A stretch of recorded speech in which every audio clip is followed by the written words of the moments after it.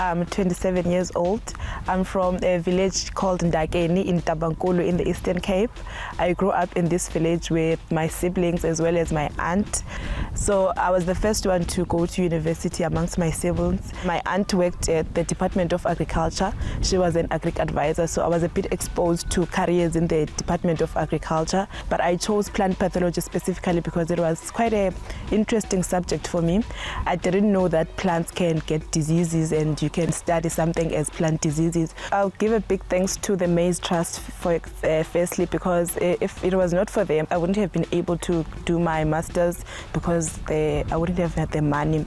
Also to my co-supervisor, Dr. Bongani Kubeka, he encouraged me a lot during my master's, even when there were times like, I'm tired, this is hard, I want to drop out, he was there for me.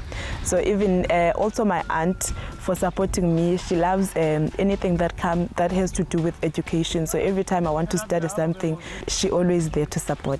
Agriculture is very broad and uh, there are so many opportunities, uh, different careers that you can go for in agriculture. It's not the most people, young people, especially the black people, they think when you're studying agriculture, it's it, it's it's a dirty job. You're going to be dirty all your life. So they don't believe you when you are in office and doing agriculture work. So it's a very diverse um, field. You you can actually be successful. There are so many opportunities because we have problems such as food insecurity, we have poverty, and if young people take up careers in agriculture, they can be able to come up with solutions that can be that will help us as a country to overcome such problems. The Maize Trust was quite um, helpful, especially during the COVID times, because there were times when I was confused. Uh, I didn't know if I was going to be able to finish my studies because there were times where we had to stop going to campus, we had to stop uh, doing experiments. But they, they were quite supportive. They, they did regular checkups.